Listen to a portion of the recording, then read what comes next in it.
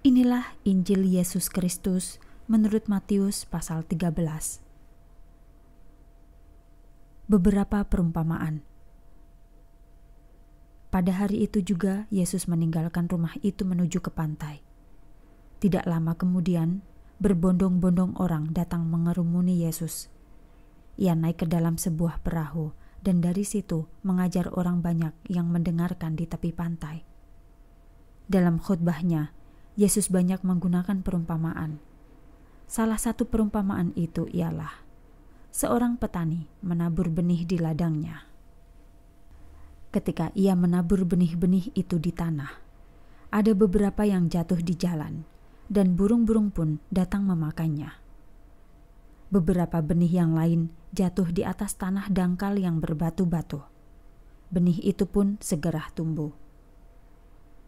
Tetapi setelah kena sinar matahari yang terik, tunas-tunas itu layu dan mati, sebab akarnya hanya sedikit. Ada juga benih yang jatuh di antara semak duri, dan semak duri itu kemudian menghimpit tunas yang masih lemah itu sampai mati. Tetapi ada beberapa yang jatuh di tanah yang subur dan menghasilkan panen. Ada yang 30, 60, bahkan 100 kali lipat dari jumlah yang ditanam.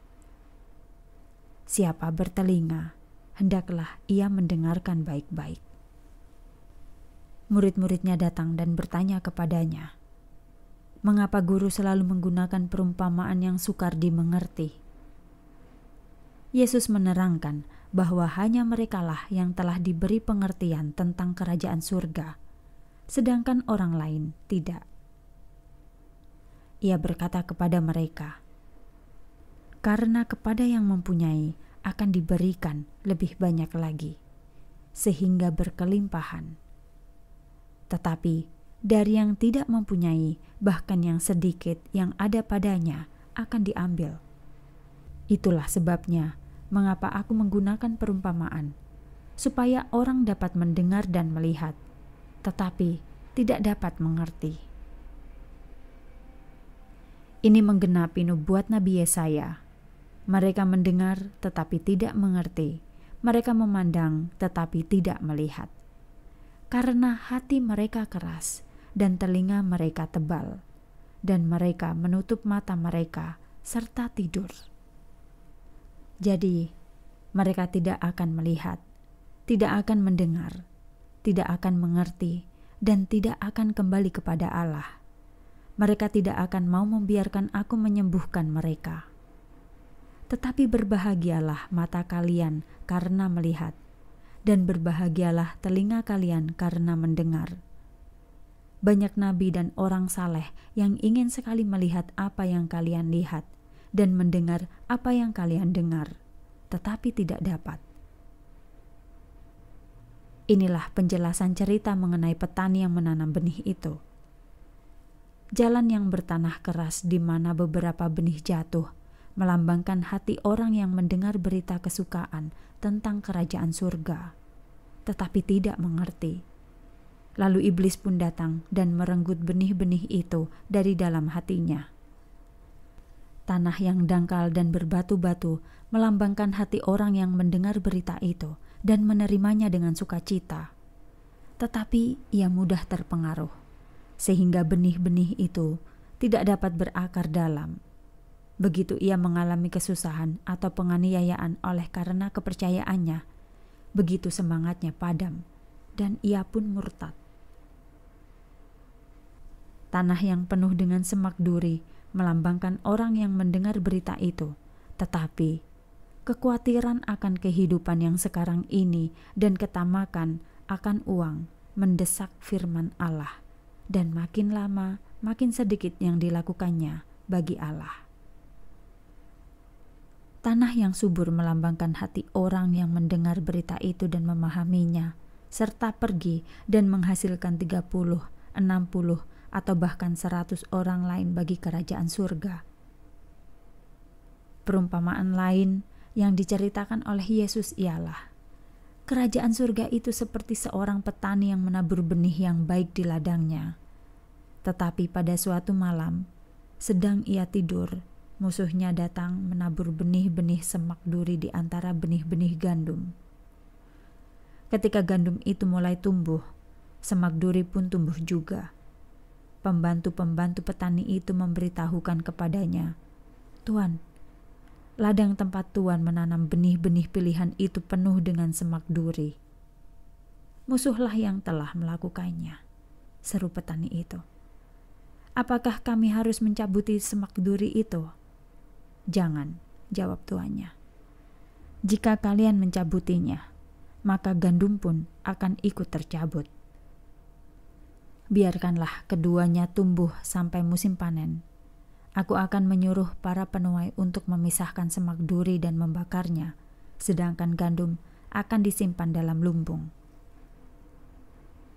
Ini perumpamaan yang lain lagi Kerajaan surga seperti sebutir benih sesawi yang ditanam di ladang. Benih itu terkecil dari segala benih, tetapi dapat menjadi tanaman yang besar dan tumbuh menjadi pohon tempat burung-burung bernaung. Yesus juga memberikan contoh ini.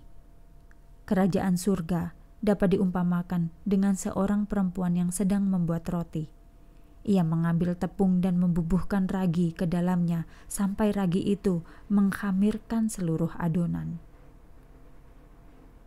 Yesus selalu menggunakan perumpamaan pada waktu berbicara kepada orang banyak. Para nabi menyatakan bahwa ia akan menggunakan banyak sekali perumpamaan.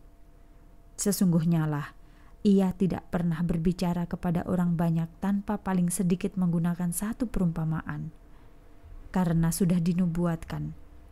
Aku akan berbicara dengan perumpamaan. Aku akan menerangkan segala rahasia yang tersembunyi sejak awal zaman. Setelah Yesus meninggalkan orang banyak dan masuk ke dalam rumah, murid-muridnya minta agar ia menerangkan arti perumpamaan tentang semak duri dan gandum. Baiklah, katanya. Akulah petani yang menabur benih pilihan ladang ialah dunia ini, dan benih pilihan melambangkan warga kerajaan surga, sedangkan semak duri melambangkan orang-orang yang menjadi milik iblis. Musuh yang menabur benih semak duri di antara benih gandum ialah setan. Musim panen ialah akhir dunia ini, dan para penuai ialah para malaikat. Sama seperti dalam perumpamaan itu, semak duri dipisahkan dan dibakar Demikian jugalah akan terjadi pada akhir dunia ini.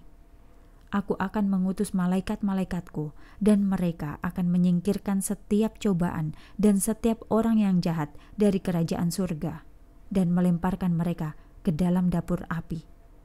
Kelak akan terdengar tangisan dan kertakan gigi. Pada waktu itulah orang yang saleh akan bersinar seperti matahari di dalam kerajaan Bapa mereka Siapa bertelinga, hendaklah ia mendengarkan. Kerajaan surga seperti harta yang ditemukan orang di sebuah ladang. Karena senangnya, ia menjual segala sesuatu yang dimilikinya untuk membeli ladang itu, supaya memperoleh harta yang ada di dalamnya. Kerajaan surga juga dapat diumpamakan dengan seorang pedagang mutiara yang sedang mencari mutiara pilihan. Ia menemukan sebuah mutiara yang sangat berharga, lalu menjual segala miliknya untuk membeli mutiara itu. Kerajaan surga juga dapat diumpamakan dengan seorang nelayan yang melemparkan jalannya ke dalam air. Ketika jala itu sudah penuh, ditariknya ke tepi pantai. Lalu ia duduk untuk memilih ikan-ikan yang telah diperolehnya, yang dapat dimakan dimasukkannya ke dalam keranjang, dan yang tidak berguna dibuangnya Demikianlah akan terjadi pada akhir dunia ini. Malaikat-malaikat akan datang dan memisahkan orang-orang yang saleh. Yang jahat akan dilemparkan ke dalam api, dan di situ akan terdengar tangisan dan kertakan gigi. Mengertikah kalian? Ya, kami mengerti, kata mereka. Lalu ia menambahkan, para ahli hukum Yahudi yang sudah menjadi muridku memiliki harta perjanjian yang baru maupun yang lama. Kembali ke Nazaret. Ketika Yesus selesai menceritakan perumpamaan itu, ia kembali ke kampung halamannya, yaitu kota Nazaret di Galilea. Di situ ia mengajar di rumah-rumah ibadat dan setiap orang heran akan hikmat dan mujizat-mujizatnya. Bagaimana mungkin hal itu dapat terjadi? Seru orang-orang itu. Ia hanya anak seorang tukang kayu, dan kami kenal Maria, ibunya, dan saudara-saudaranya yang laki-laki, Yakobus, Yusuf, Simon, dan Yudas. Demikian juga saudara-saudaranya yang perempuan. Mereka semua tinggal di sini. Bagaimana mungkin ia dapat memiliki hikmat dan kuasa sebesar itu?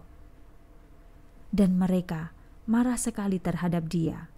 Lalu Yesus berkata, Seorang nabi dihormati di mana-mana kecuali di antara bangsanya, di negerinya sendiri.